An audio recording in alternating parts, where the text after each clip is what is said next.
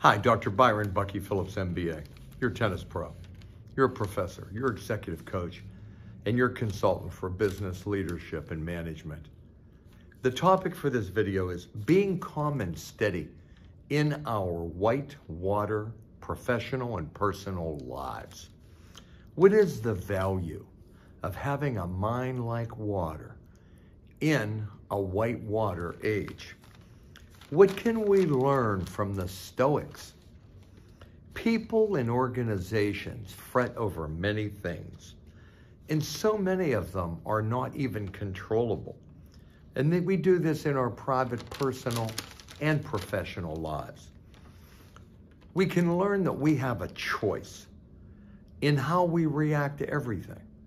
I like to say between stimulus and response is a giant space in that space, you can make a decision thousands of times a day. Epictetus reminded us to shift our attention to our own reasoned choices and away from choices controlled by others and external events. Some trade secrets we can learn from these ancient philosophers include Develop an internal locus of control. Guard your own precious time. Never outsource happiness.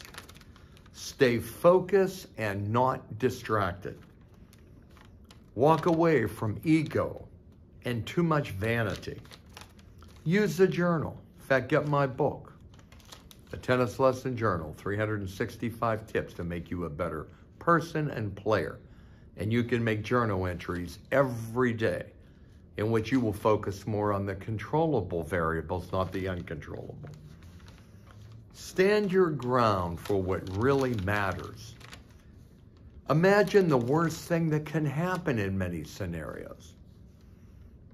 Live life on your own terms and remember that nothing really endures anyway something that you're fretting about, will it matter 50 years from now?